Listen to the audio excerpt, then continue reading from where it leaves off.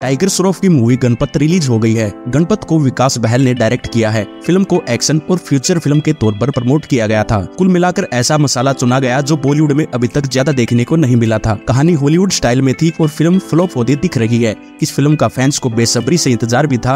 अब film release हो गई है तो चलिए जानते हैं टाइगर श्रॉफ की गणपत कैसी है और ये मूवी आपको देखनी चाहिए या नहीं।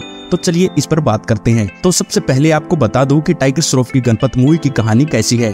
देखिए, गणपत की कहानी एक ऐसी दुनिया की है जो तबाह हो चुकी है, जिसमें ज़िंदगी दो हिस्सों में बढ़ चुकी है। एक हिस्सा रईस का है और दूसरा हर चीज़ के लिए जंग करते, मजलूम लोगों का। टाइगर श्रोफ रईस की दुनिया से जुड़े हैं, लेकिन टाइगर श्रॉफ के लाइफ में कीर्ति सेनन के आने के बाद कुछ हालात और ऐसी बातें होती हैं कि वह गरीबों के हक के लिए खड़े होते हैं। कहानी सिर्फ़ इतनी है जिसमें अमिताभ बच्चन कृति सेनन और टाइगर श्रॉफ जुड़े हैं। ये एक ऐसी कॉमन कहानी है जो ओ पर मौजूद हर दूसरी फ़िल्म या वेब सीरीज़ में नज़र आई जाती है। फिर इस तरह की कहानी को जिस तरह का ट्रीटमेंट मिलना चाहिए, वह मिसिंग है। कुल मिलाकर फ्यूचर की बात तो हो रही है, लेकिन बॉलीवुड यहाँ भी अतीत में ही जीता हुआ नज़र आ रहा है। गणपत के नाम पर एक और औसत कहानी को परोसा गया। गणपत का सबसे बड़ा ड्रॉबैक उसकी एक्टिंग है। टाइगर श्रॉफ एक्टिंग कर नहीं पाते और हर वक्त एक्शन मोड में रहते हैं, लेकिन ये एक्शन भी काफ़ी घिसा पिटा नज़र आता है। ऐसा एक्शन और फाइटिंग सीन जो टाइगर की अधिकतर फ़िल्मों में देखा है। कुल मिलाकर एक्सप्रेशन बिल्कुल ही ज़ीरो है। टाइगर फाइटिंग तो करते हैं, लेकिन फ्यूचर में भी उनकी फाइटिंग फास्ट वाली ही है। कीर्ति सैनन भी एक्टिंग के मामले में अवरेज है।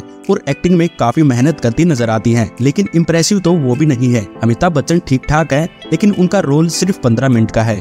गणपत का डायरेक्शन विकास बहल ने किया है। विकास इससे पहले क्वीन और सुपर थर्टी जैसी फ़िल्में कर चुके हैं और वह शानदार जैसी सुपर फ्लॉप भी दे चुके हैं। फ़िल्म की कहानी में ना तो गहराई है और ना ही कुछ ऐसा जो पहले ना देखा गया हो। फ़िल्म ने कमज़ोर स्क्रीन और डायरेक्शन ने पूरी मेहनत पर पानी फेर दिया। इस तरह की फ़िल्में मज़बूत कहानी के साथ बनाई जाती हैं और फ़िल्म का वीएफएक्स भी कमज़ोर है। अगर आप टाइगर श्रॉफ के एक्शन के फ़ैन हैं तो इस फ़िल्म को एक बार ज़रूर देख सकते हैं। बाकी इस फ़िल्म को देखने की दूसरी कोई वजह नज़र नहीं आती। और अगर आपने ये मूवी देख ली है तो आप बताइए कि आपको ये मूवी कैसी लगी। ऐसी ही मज़ेदार वीडियो के लिए हमारे चैनल को सब्सक्राइब और वीडियो को लाइक ज़रूर करें।